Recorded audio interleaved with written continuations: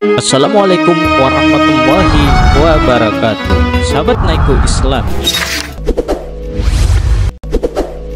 Setan adalah makhluk ciptaan Tuhan yang selalu menyebabkan manusia berbuat dosa. Setan telah berjanji akan terus menipu manusia dengan berbagai cara untuk menjauhkan mereka dari Allah Subhanahu wa taala hingga mereka masuk neraka. Iblis menggoda manusia dari berbagai arah, tetapi hanya ada satu arah yang tidak bisa dimasuki iblis. Arah manakah itu? Al-Quran Surat Al-Araf mengatakan bahwa setan terus menipu dan menggoda manusia untuk berpaling dari Tuhan dan melakukan banyak dosa. Yang artinya, kemudian saya, setan atau iblis akan mendatangi mereka manusia dari muka dan dari belakang mereka dari kanan dan dari kiri mereka dan engkau tidak akan mendapati kebanyakan mereka bersyukur atau taat.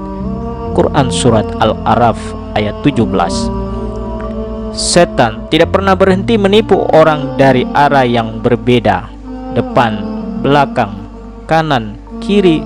Dari semua arah ini orang dapat dengan mudah terjerumus ke dalam dosa dan maksiat. Tahukah Anda bahwa setan akan menggoda manusia dari empat pintu utama? Pandangan terhadap lawan jenis. Setan akan selalu menggoda manusia dengan berbagai cara. Salah satu cara yang paling membuat manusia terjerumus adalah pandangannya. Banyak manusia akan tergoda jika memandang lawan jenis Dan beberapa bahkan tidak mampu melawan hawa nafsu.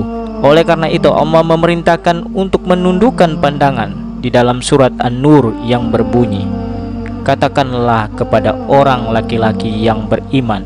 Hendaklah mereka menahan pandangannya dan memelihara kemaluannya. Quran Surat An-Nur ayat 30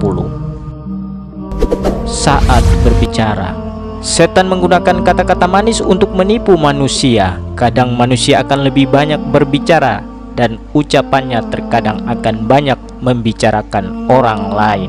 Baik bagi laki-laki atau perempuan, pasti akan banyak berbicara jika sudah berkumpul dengan kelompoknya, terutama bagi wanita yang sering berkumpul. Pembicaraan yang salah, baik atau buruk, dapat menyebabkan fitnah seperti membicarakan orang lain yang hanya akan menambah dosa. Fitnah adalah salah satu yang paling dibenci oleh Allah Subhanahu wa taala. Setan cemburu pada manusia dan menggoda mereka ke neraka.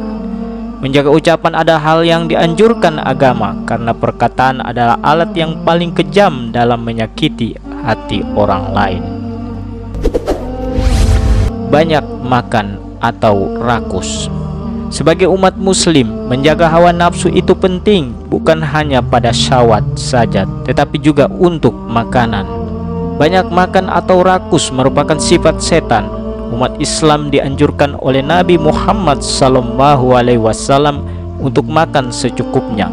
Makanlah jika kamu lapar dan berhentilah sebelum kamu kenyang. Bebas dalam pergaulan. Manusia adalah makhluk sosial sehingga manusia membutuhkan manusia yang lain dalam segala hal. Bebas bergaul adalah salah satu cara iblis merusak manusia.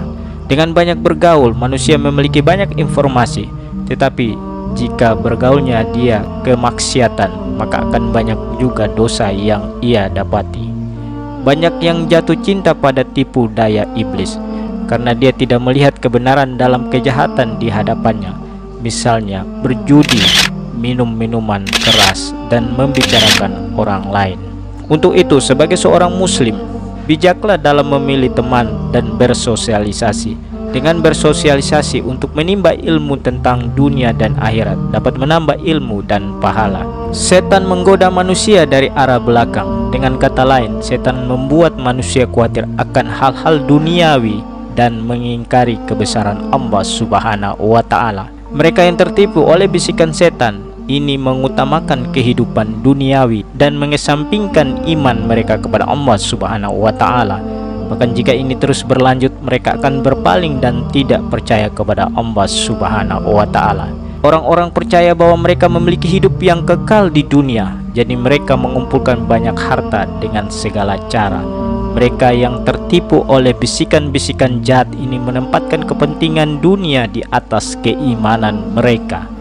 Mereka juga percaya bahwa kehidupan di dunia ini abadi, sehingga mereka mengumpulkan kekayaan sebanyak-banyaknya. Selain dua arah tersebut, godaan setan datang dari kedua belah pihak.